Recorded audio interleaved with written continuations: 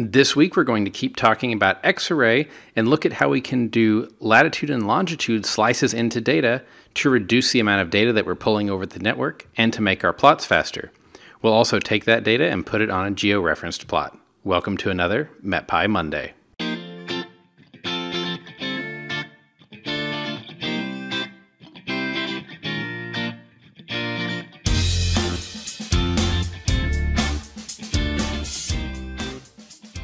Hello, I'm John Leeman, a software engineer for Unidata. This week we're going to keep exploring Xarray and see how it can make us download less data. I'm actually going to make a plot of the relative humidity at the zero degree isotherm, which is something you might want to know if you're interested in icing conditions and where they're present in the atmosphere. But we're going to only want that over the continental United States. So I don't need to pull down the whole GFS. I don't need to pull down that field for the whole globe. I just need to pull down that field over that region. Now, we could, of course, do this with the NetCDF subset service, but this is a different and a little bit more versatile way. So to get started with, we're going to, very similar to last week, get Siphon, Xarray, and MetPy imported. So from siphon.catalog, we're going to import the THREDDS data server catalog, import Xarray as XR. You're going to import MetPy so that we have those accessors enabled. Our best GFS address. We're going to create a catalog object on this web address. Again, we talked a little bit about where this comes from last week, and we've talked a lot about it in the past in our Siphon videos. Just note this is the THREDDS address for the global quarter degree best GFS collection. I'm going to go ahead and get the dataset object, which from our best GFS dot datasets is the zeroth element. So now we're ready to create our dataset object. Using Xarray, the open dataset method. We want our best dataset. And from the access URLs, do you remember what we're going to pull from last week? Yeah, the OPeNDAP access method.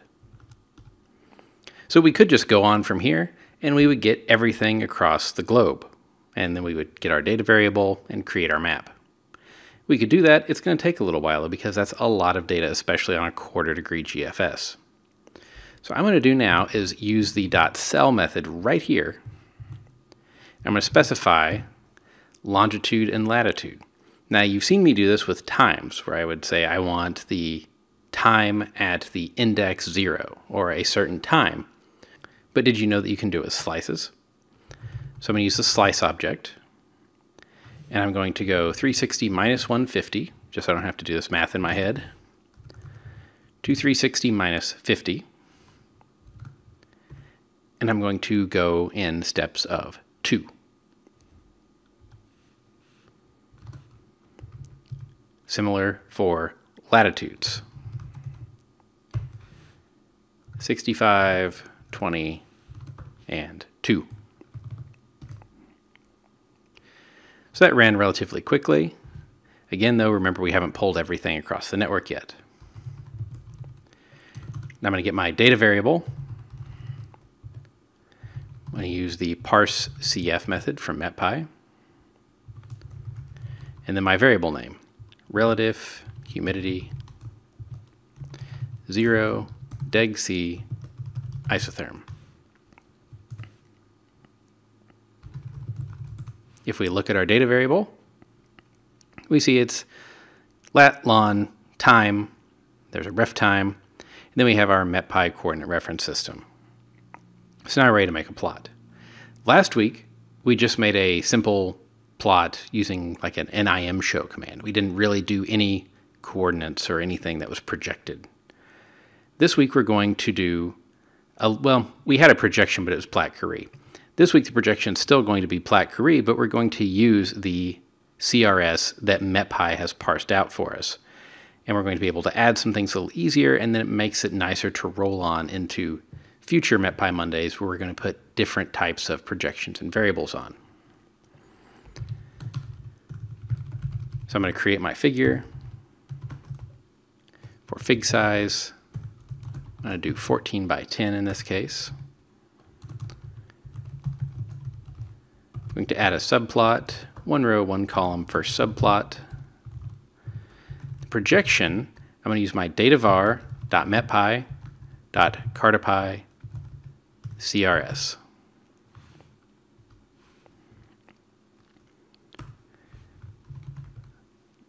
Now I'm first going to do a contour F for a filled contour.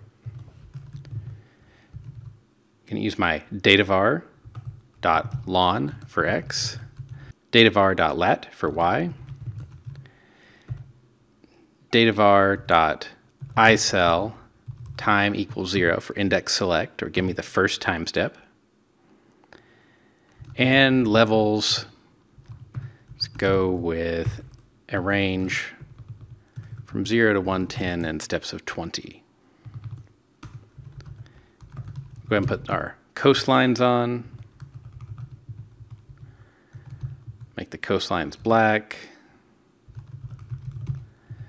The resolution, we'll go 1 to 10 million. I'm going to use the add features, or add feature, C feature dot states with scale 1 to 50 million. Okay, so we need to have a couple of imports before this will work. So I'm going to import matplotlib pyplot as PLT. And this is one thing I like to do a lot is write my code block and then go back and put my imports in after I know what I'm going to need. Import numpy as np. Import cartopy dot feature as cfeature. And of course our matplotlib inline magic. So now let's give this a shot. So what we've got here is that the dimension time does not exist. This is again one of those oddities that you'll run into sometimes with the, the way the THREDDS data server handles the data that are coming in. Right now it's going to be called time one. If you're following along, it might be called time again, or it might be time two. So there we have a map. We can see that we've got lower humidities at the freezing level down here in the south currently, and higher up in the north, because this is the default Viridis color map. I want to make this a little bit fancier looking plot. So I'm going to save a handle as CF for contour filled. Then actually we're just going to copy this line for the contour filled and paste it. I'm going to get rid of the F so it's just a contour. So we're going to leave all the data the same. The colors we're going to set to just be white instead of colored contours. And then the levels we can change. I'll leave the contours at 20, but I'm going to change the shading to be, let's say, between 0 and 100. We just need to go a little bit over so we get 100 in steps of 5. And for the color map, we'll use something like Inferno, a perceptually uniform color map. So let's try that out. Okay, so now we get, again, pretty nice contrast with more filled color contours than we have the outlines. Makes it a little easier to, to read and see what's going on here. And I think I want to put a color bar on lastly. So I'm going to use plt.colorbar, the handle to our filled contours, and the orientation, I always like these horizontal. So there we go. Now we can see the lower and higher relative humidities at the freezing level over the continental United States, and we didn't have to pull all the data from the GFS back. In fact, with just one, two, three, four lines of code, we subset and got exactly what we wanted. And then with another six or seven lines of code, we were able to make this plot. I hope that you found this useful and that you're enjoying MetPy 1.0 and all of the integrations with Xarray. Please let us know if you have suggestions for future MetPy Mondays or things that you'd like to see down below in the comments. I hope that you found this useful, and I'll see you on next week's MetPy Monday.